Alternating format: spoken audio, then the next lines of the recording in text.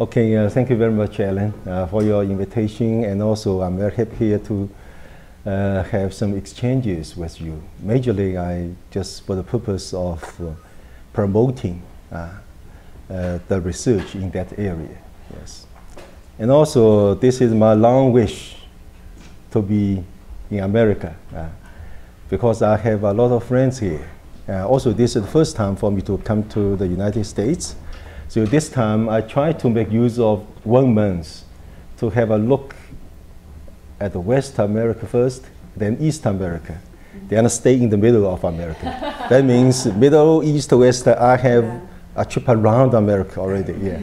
I hope this will be my wonderful trip.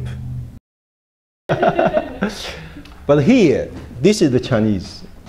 Usually in the public places, we have uh, some warning for example, if you pass the narrow path, but you have to mind your head, otherwise will touch something, okay? So this is the warning in public places. Usually we have very interesting American translation. Uh, for example, like this. Take care of your head.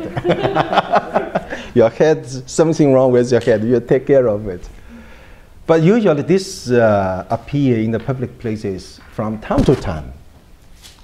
But actually, we have this one. Mind your head. Mm-hmm. Yeah, this is the right one.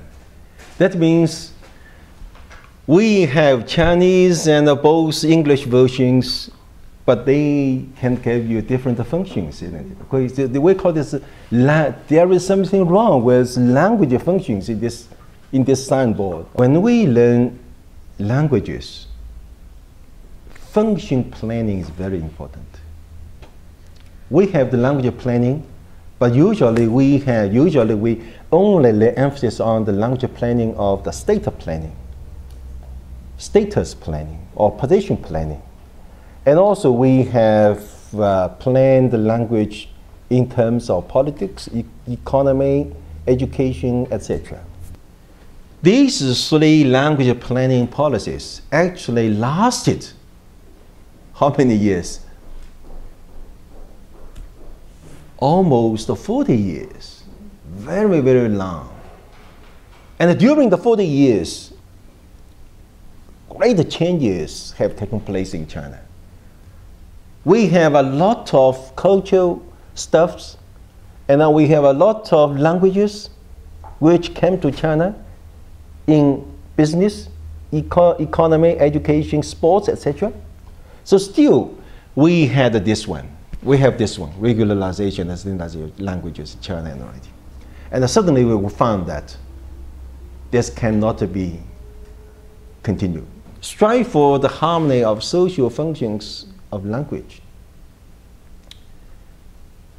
But this policy is I should say that it's very meaningful. Okay, what's the stuff in the harmony? Harmony and the functions of languages. And here the languages, language no longer only mean Chinese. Uh, I'm sorry, should be languages. Okay, a, a lot of language.